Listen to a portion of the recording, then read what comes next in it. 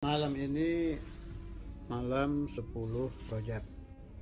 Dahulu kala pada malam Jumat malam 10 Rajab lahirnya Nur Muhammad sallallahu alaihi wasallam.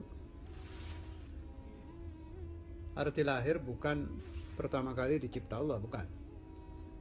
Kalau lahirnya Rasulullah sallallahu alaihi wasallam dalam arti bayi suci Nabi Muhammad pada tanggal 12 Rabiul Awal itu memang keluarnya bayi Rasul Sallallahu Alaihi Wasallam ke alam dunia.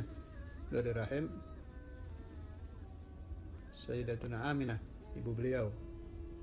Kalau yang dimaksud lahirnya Nur Muhammad malam 10 Rajab pindahnya Nur Muhammad dari tulang sulub ayahnya ke rahim suci ibunya. Itu maknanya lahir Nur Muhammad sallallahu alaihi wasallam.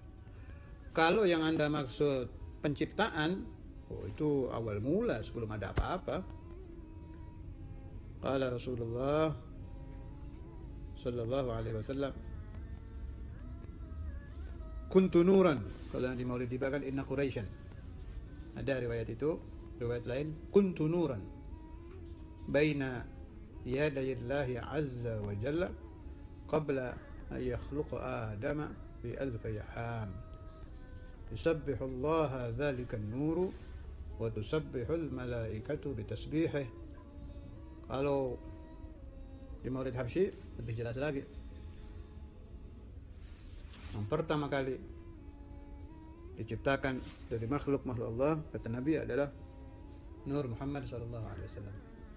Itu belum ada tanggal belum ada hari belum ada bulan awal penciptaan Nur Muhammad. Ini yang dimaksud terakhir ini pindah dari tulang sulub ayahnya ke rahim suci ibunya. Malam Jumat tanggal 10 Rajab